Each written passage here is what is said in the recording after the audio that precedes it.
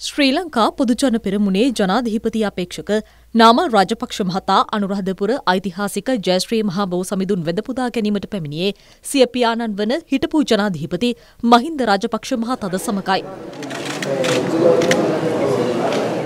අටමස්ථානාධීපති පූජ්‍ය පල්ලේගම හෙමරතන ස්වාමින් වහන්සේගේ අනුශාසනා පරිදි ලංකාරාමාධීපති පූජ්‍ය රලපනාවේ ධම්මජෝති ස්වාමින් වහන්සේ ආගමික වතාවත් මෙහෙයවූවා.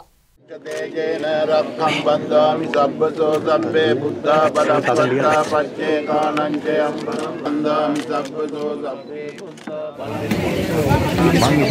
නාම රාජපක්ෂ මහතා රුවන්වැලි මහා සෑය වැඳ පුදාගත්තා. ඒ මහතා ඇතුළු පිරිස මෙහිදීද ආගමික වතාවත්වල නිරත වුණා.